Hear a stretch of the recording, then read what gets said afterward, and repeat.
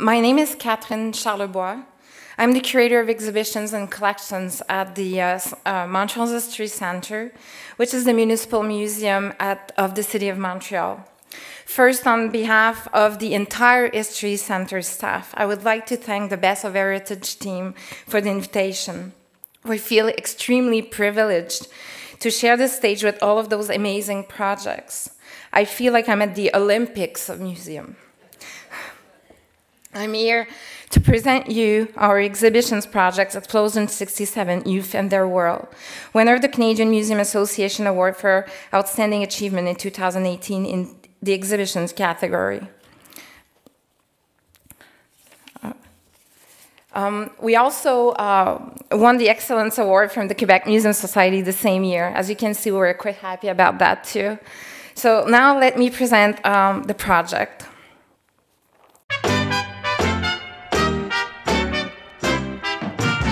L'expo était une exposition montréalaise. Le désir profond de découvrir... deux stations de métro, puis on débarquait sur la planète. A transfusion of life every Voulu par des Montréalais. Qu'est-ce qui va nous arriver? Qu'est-ce que le monde va nous apporter? transported to a different place Il n'y avait pas de limite à l'imagination. Terre des hommes, c'était d'abord un thème de pacifisme. It was far from a quiet revolution. Il s'est vraiment passé quelque chose à ce moment-là. Tous nos sens étaient provoqués. Le reflet de l'effervescence québécoise de l'époque.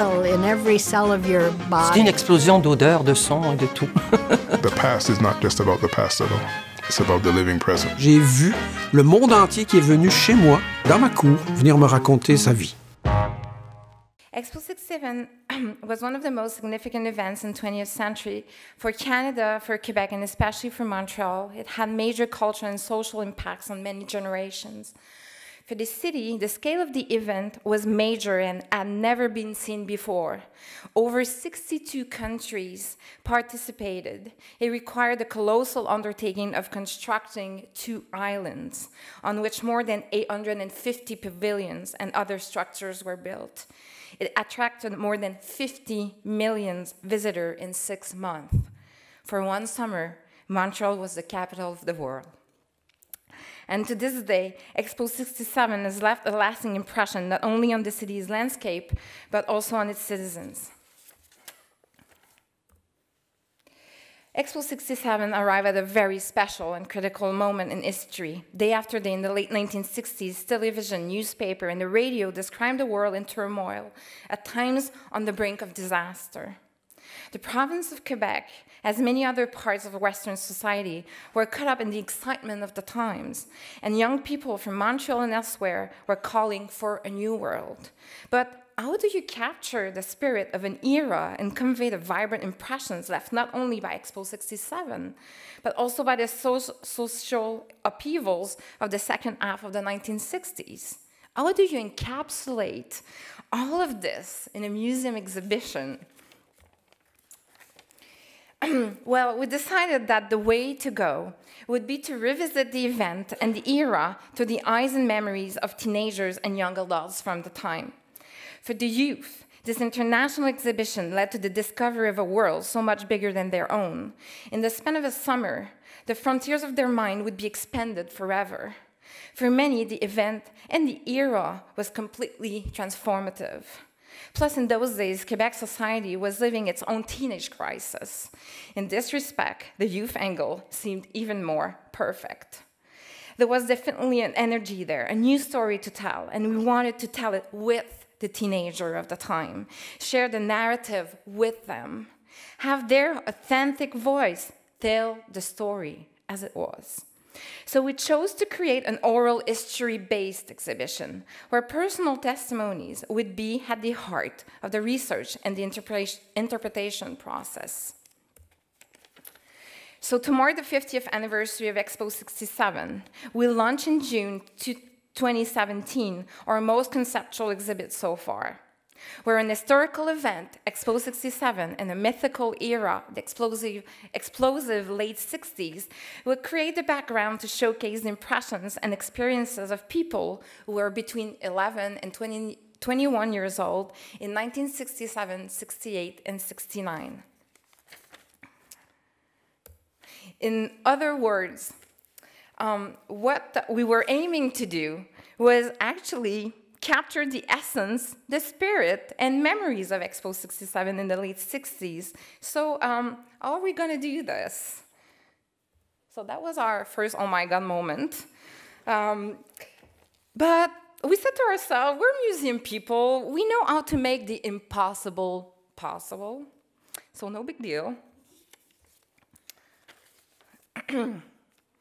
okay, so I said it was a, an exhibition about teenagers and their memory, memories of the 60s. So we needed to find them and conduct interviews. Well, nothing less. Okay, but who should we pick? Um, we wanted to interview people who could speak to a variety of experience at Expo. Uh, we were looking for young visitors and staff uh, of different genders and cultural origins, uh, teenagers that were from Montreal and abroad. We also wanted to represent different personality types. That was very important to us. We were looking for the studious and reserved uh, teenagers, the dynamic, the trendy, the political, the artistic, the countercultural. In other words, we needed our geeks, our cool kids, and hip hippies. we also searched for privileged witnesses of the era, such as activists, um, highly placed staff in uh, Expo 67, organizations, and strategic employees on the sites. Uh, you know, the individuals who um, could reveal secrets and crunchy details. And finally, we added to the mix a few academic, uh, academic historians and sociologists who could provide more analysis in historical context. In the end, we selected and recorded more than 47 amazing voices, which are now part of our permanent collection. We also wanted to emphasize the personal and more intimate narrative created by the interviews and to turn away from the official archives and the public, uh, the public had seen over and over throughout uh, the years. Um, so we decided to find as much as possible original, previously unheard of material um, and aiming mostly toward personal archives from private collections. Um, in order to achieve that, we ended up sending out a broad, year-long public call through social media to gather new content. Well, the public was quite generous and enthusiastic. I was, I was too. in the end, we acquired close to a thousand new artifacts for our collections, including very rare and unique items, such as a, uh, such as Ostas's uniform, employee documents, home movies, uh, personal scrapbook, and even an entire personal collection of more than 650 artifacts. That, that was a donation right there. And all of these donations um, are accompanied by personal accounts that tell their stories, which make, which make these acquisitions even more special. So um, you can admire here uh, the results of the research phase. Looking at this, you can understand that one of the biggest challenges for this project was to manage and process the phenomenal account, uh, amount of materials generated through research and interviewing. Well, that was our other oh my god moment. Uh, but again, we're museum people. We make magic. We curate. So um, for the uh, for uh, curating um, Explosion uh, 67, um, the design become, um, became a major guideline and influenced how we integrated oral history. We had three main design objectives, memory, immersions, and technology.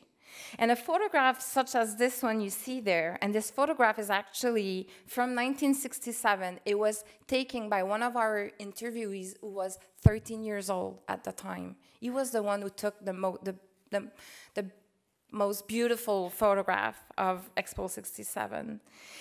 It actually illustrates the type of atmosphere uh, we were looking to reproduce within our own exhibition. It's actually the interior of the Man in the Universe Pavilion, 1967.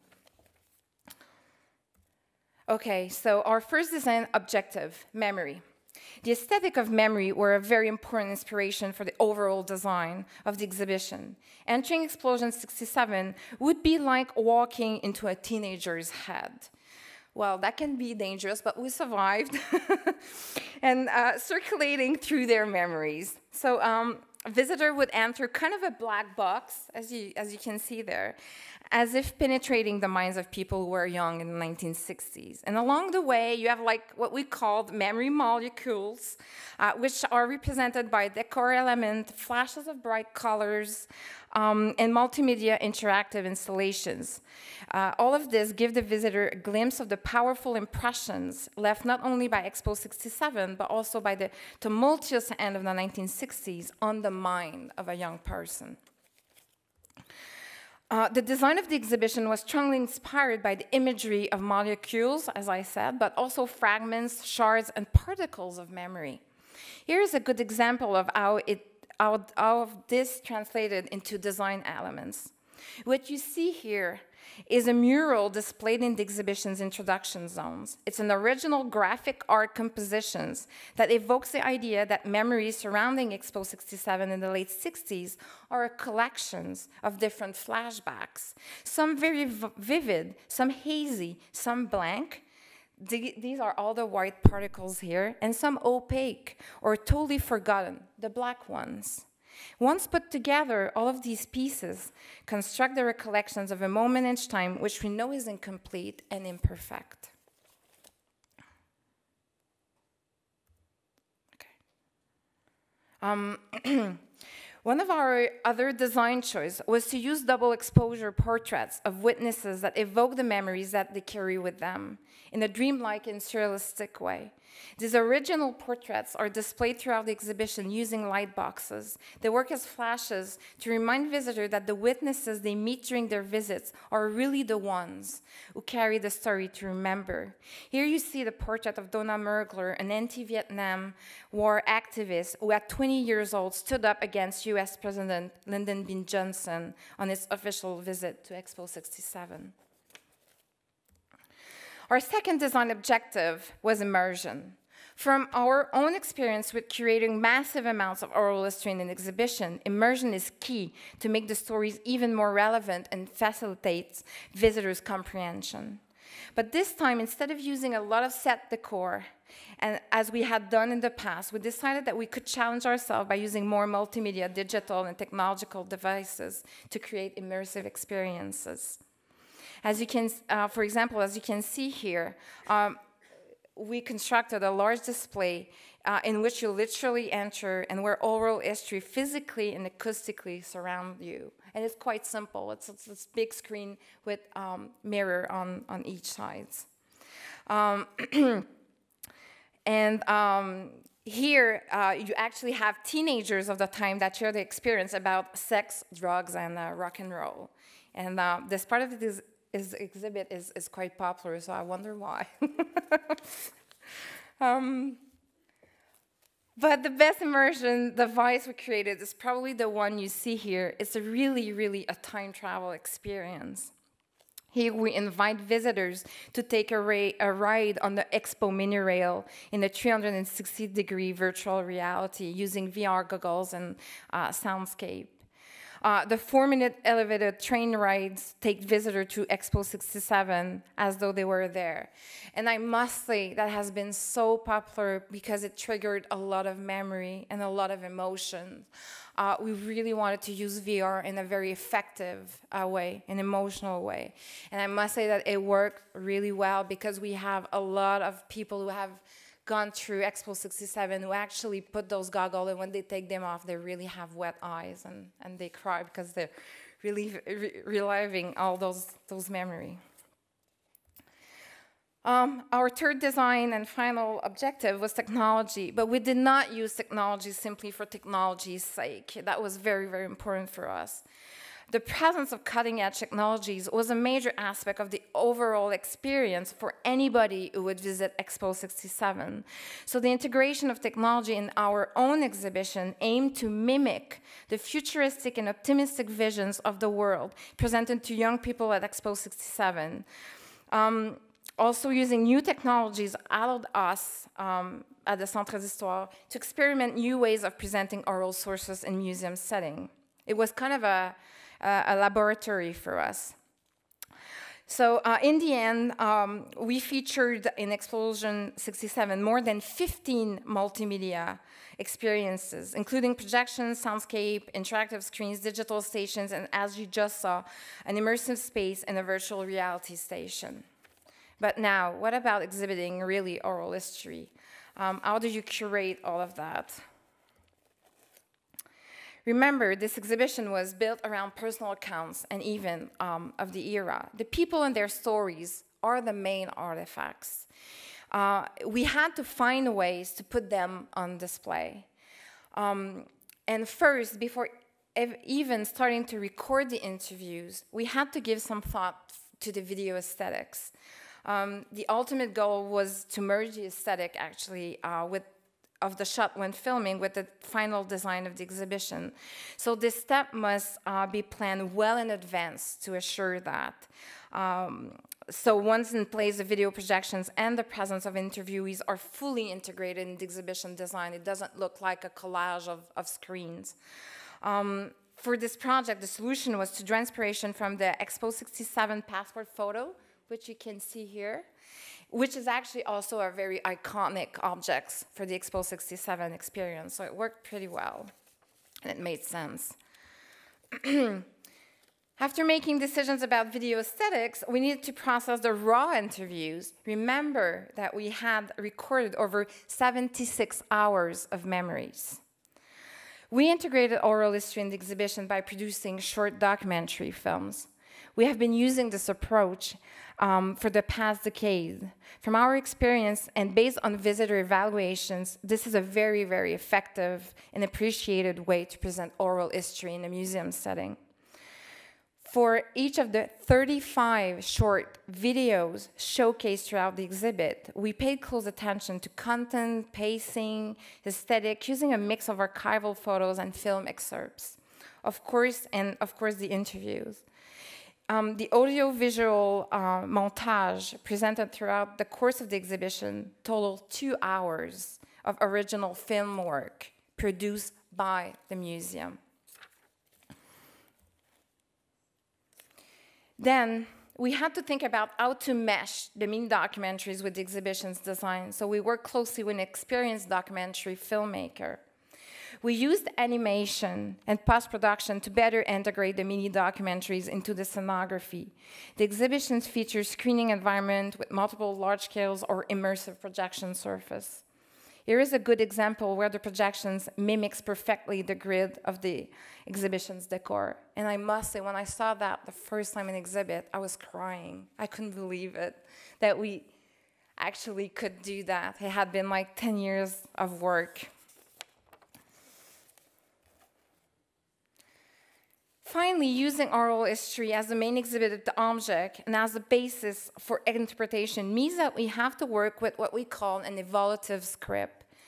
Contrary to traditional exhibition, projects that usually that usually work with a contrary to projects usually work with a very very fixed script, where every single content element is planned ahead at the Centre d'Histoire, we prefer to use what we call an open script, where parts are added and changed until the very end. Producing an oral history-based exhibitions require that you leave space for stories and information you cannot know before having listened to the interviews.